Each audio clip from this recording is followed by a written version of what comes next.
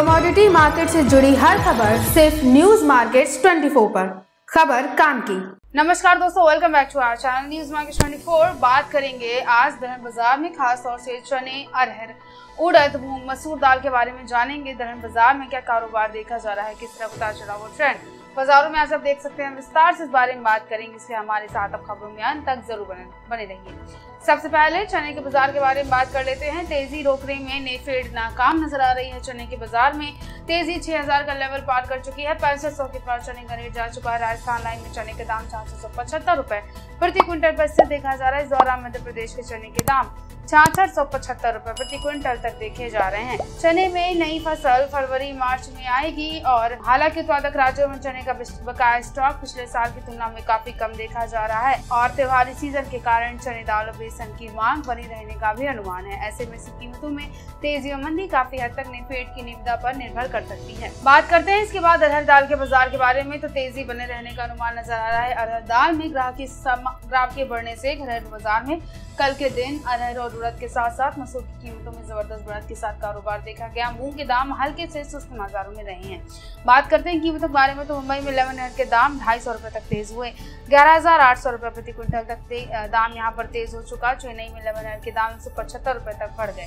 ग्यारह हज़ार आठ सौ पचास रुपए प्रति क्विंटल का दाम यहाँ पर देखा गया। कोलम में देसी अरहर के बिल्टी भाव तेज होकर बारह हज़ार पाँच सौ रुपए प्रति क्विंटल तक मार्केट में देखे गए। चालू खरीफ में अरहर की बुआई पिछले साल की तुलना में कम हुई है। साथ ही खपत का सीज़न होने के कारण अरहर दाल में मांग बनी रहने का अनुमान नज़र आ रहा है। स्टॉक लिमिट लगी होने के कारण दाल मिलों के पास भी तय मात्रा में भी, में ही अरहर का स्टॉक बचा हुआ है। इसीलिए अरहर की मौजूदा कीमतों में बड़ी तेज़ी आने के आसार कम नज़र आ रहे हैं।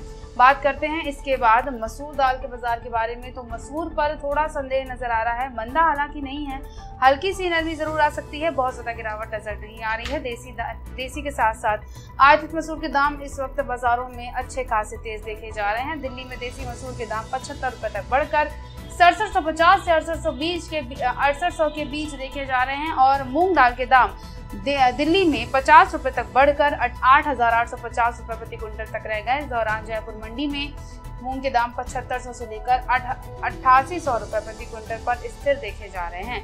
ओवरऑल जो ट्रेंड है, वो तो आपको यहाँ से पॉजिटिव देखने को मिल सकता है। बात करते हैं अंत में उड़द दाल की बाज़ार के बारे में। तो फ़िलहाल उड़द दाल में भी बहुत ज़्यादा मंदा नहीं है।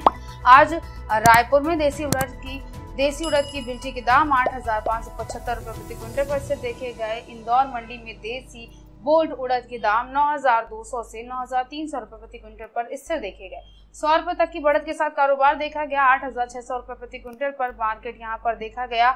चेन्नई में एस उड़द के दाम 50 रुपए तक बढ़ गए 9,400 रुपए प्रति क्विंटल का दाम यहाँ पर हो चुका है। इस दौरान मध्य प्रदेश इस दौरान उड़द एफ़ क्यू के दाम भी बढ़ गए और आठ हज़ार छह सौ रुपए प्रति क्विंटल का दाम इसका मार्केट में देखा गया। तो दलहन बाज़ार पर इन दिनों काफ़ी ज़्यादा बढ़त के साथ कारोबार देखा जा रहा है। बहुत ज़्यादा गिरावट दर्ज नहीं करी गई है। ओवरऑल जो आज ट्रेंड है, वो आपको बाजारों में, दलहन बाज़ार में फ़िलहाल के लिए पॉजिटिव देखने को मिल सकता है।